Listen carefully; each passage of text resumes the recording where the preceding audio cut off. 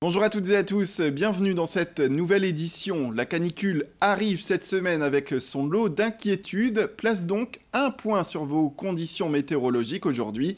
Si Météo France n'envisage pas d'alerte spécifique dans le nord et le Pas-de-Calais, la chaleur arrive bel et bien.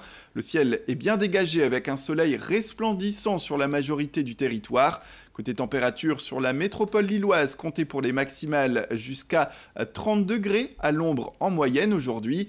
Sur le littoral, ce sera plus agréable avec des températures en dessous des 30 degrés et un vent léger qui devrait permettre de mieux vivre cette période de chaleur.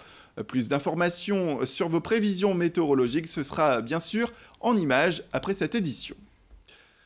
Alors que la canicule a lieu sur le territoire français, les inspecteurs du travail rappellent les consignes de sécurité sur les chantiers et dans les entreprises lors des fortes chaleurs. De nombreuses inspections sont effectuées par exemple sur les chantiers afin de repérer les manquements de sécurité pour les ouvriers ainsi que le manque d'eau ou de zones ombragées. La chaleur peut provoquer des malaises, des insolations qui demandent aux entreprises d'adapter leurs heures de travail. La Directe Hauts-de-France affiche d'abord les recommandations côté employeur. L'entreprise euh, a un rôle premier de prévention des risques, donc elle doit veiller à ce que les risques soient prévenus pour les salariés et elle à être vigilante également sur la mise en œuvre des euh, mesures de prévention qui sont décidées. Donc l'entreprise doit veiller à ce que euh, l'organisation du travail soit adaptée pour éviter les fortes chaleurs, mettre à disposition des moyens ventilo, de l'eau de manière un peu plus régulière plus adapté aux chaleurs. Donc c'est à la fois de la mise à disposition de, moyens pour éviter euh, les chaleurs, mais aussi dans l'organisation du travail, veiller à ce que euh, euh, les salariés soient moins soumis aux fortes chaleurs le représentant de la directe qui donne également quelques informations sur le droit, cette fois des salariés. Un salarié a toujours un, droit de retrait en cas de danger grave et imminent pour sa santé ou sa sécurité.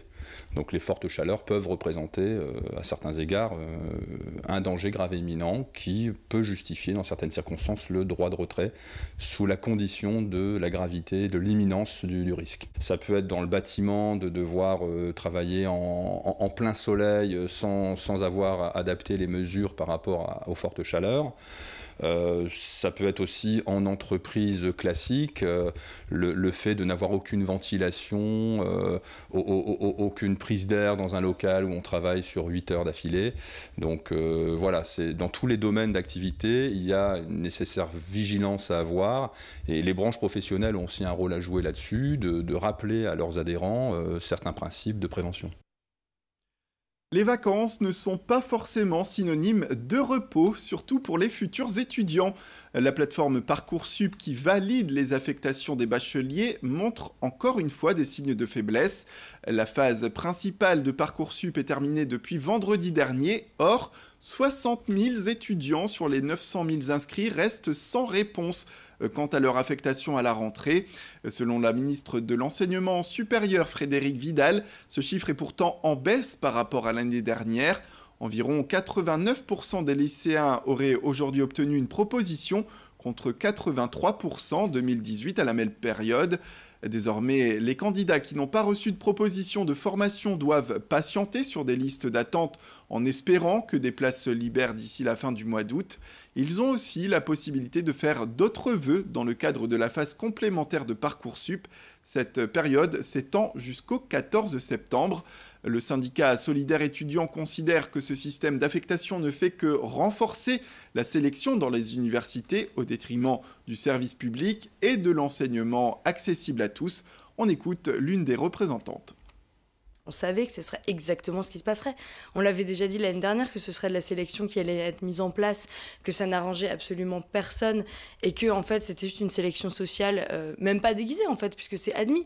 Déjà que l'université c'était quand même pour les personnes d'un milieu social relativement fort.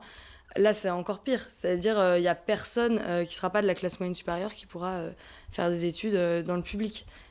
Et tout ça, ça se double aussi de lois qui privatisent l'enseignement supérieur. Donc, on peut dire adieu à l'enseignement supérieur public en général, si on ne se mobilise pas.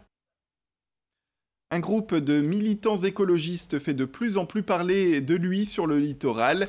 Le collectif Extinction Rébellion s'est mobilisé notamment ces dernières semaines contre l'implantation d'un poulailler à gamme.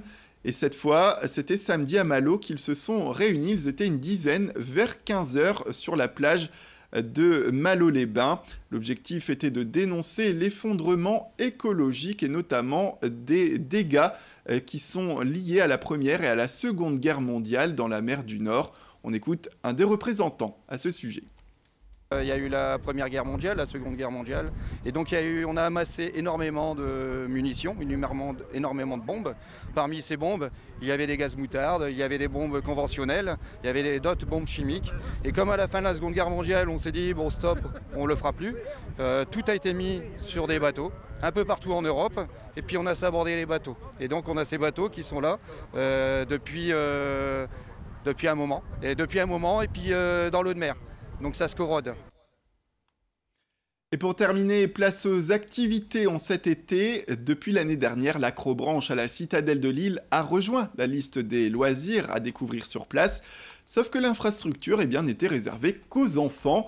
Désormais, les adultes peuvent les rejoindre eux aussi et jouer aux aventuriers. Au bois de Boulogne, dans les arbres, Laurent Outremont, fondateur d'Acrolille, a développé un parcours familial allant jusqu'à 3 heures. Équipés surtout bien en forme pour pouvoir s'accrocher aux parois, les sportifs sont suspendus jusqu'à 10 mètres de haut, voire plus. Des aires de pique-nique sont également à disposition pour se ravitailler, c'est important. Bref, une bonne idée sortie, comme l'affirme le responsable des lieux. L'année dernière, nous avons ouvert le parcours euh, pour les enfants de 6 à 10 ans. Et depuis le mois d'avril, euh, nous avons ouvert 4 euh, pistes pour les ados et les adultes. Donc à partir de 8-9 ans, quand ils sont accompagnés, jusqu'à 70 ans, ou même plus. Alors ça se compte pas en kilomètres, ça se compte en nombre d'ateliers. il y a à peu près une centaine d'ateliers sur l'ensemble du, du, parc. Vous en avez pour à peu près 2 heures, 2 heures et demie en fonction de votre rythme. Au point le plus haut, on doit être à 13 ou 14 mètres de hauteur. Voilà, c'est la fin de cette édition. Merci à toutes et à tous de nous avoir suivis. Restez avec nous, l'information continue.